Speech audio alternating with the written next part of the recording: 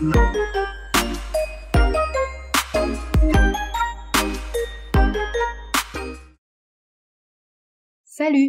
et bienvenue sur ce nouveau podcast proposé par J'aime le français. Ce podcast de niveau intermédiaire est un peu particulier. Vous allez entendre une courte histoire. Et cette courte histoire va se concentrer sur les pronoms réfléchis. Les pronoms réfléchis, ce sont des pronoms qui se réfèrent à la même personne que le sujet du verbe, c'est-à-dire à celui qui effectue l'action. En français, ces pronoms réfléchis sont les petits mots que l'on trouve juste avant le verbe. Par exemple, je me lave. Me est le pronom réfléchi. Voici tous les pronoms réfléchis en français avec l'exemple du verbe se laver.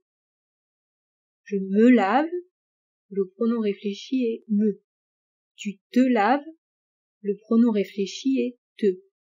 Il se lave, elle se lave, le pronom réfléchi est se. Nous l'avons. Le pronom réfléchi est nous.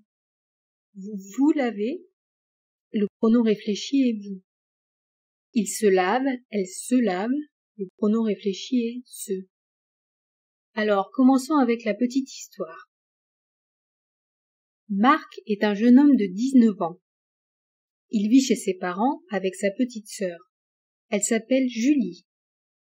Marc étudie l'informatique à l'université et pendant son temps libre, il aime sortir avec ses amis et aller au cinéma.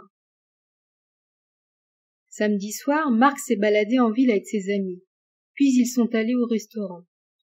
Du coup, il s'est couché tard. Alors ce matin, il s'est réveillé vers neuf heures, mais il a préféré rester encore un peu au lit. Puis il s'est souvenu que Pierre et lui s'étaient donné rendez-vous à dix heures pour faire un footing. Quand il s'est rendu compte qu'il était déjà neuf heures et demie, il s'est levé en vitesse. Il a pris un café avec des tartines, puis il s'est lavé les dents. Il s'est habillé, il a mis ses chaussures de sport et il est sorti pour attraper le premier bus.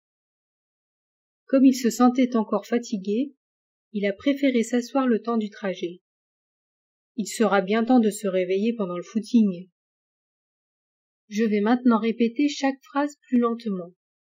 Marc est un jeune homme de dix-neuf ans. Il vit chez ses parents avec sa petite sœur. Elle s'appelle Julie. Marc étudie l'informatique à l'université. Et pendant son temps libre, il aime sortir avec ses amis et aller au cinéma.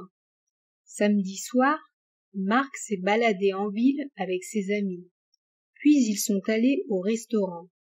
Du coup, il s'est couché tard.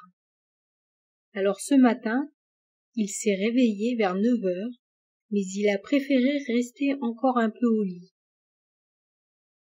Puis il s'est souvenu que Pierre et lui s'étaient donné rendez-vous à dix heures pour faire un footing. Quand il s'est rendu compte qu'il était déjà neuf heures et demie, il s'est levé en vitesse. Il a pris un café avec des tartines, puis il s'est lavé les dents. Il s'est habillé, il a mis ses chaussures de sport et il est sorti pour attraper le premier bus. Comme il se sentait encore fatigué, il a préféré s'asseoir le temps du trajet. Il sera bien temps de se réveiller pendant le footing. Voilà, c'est tout pour aujourd'hui. À bientôt.